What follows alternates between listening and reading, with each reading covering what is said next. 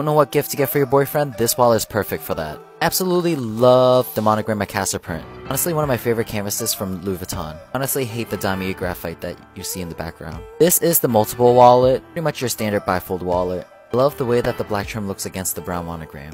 Honestly gives a modern touch to a classic brown monogram.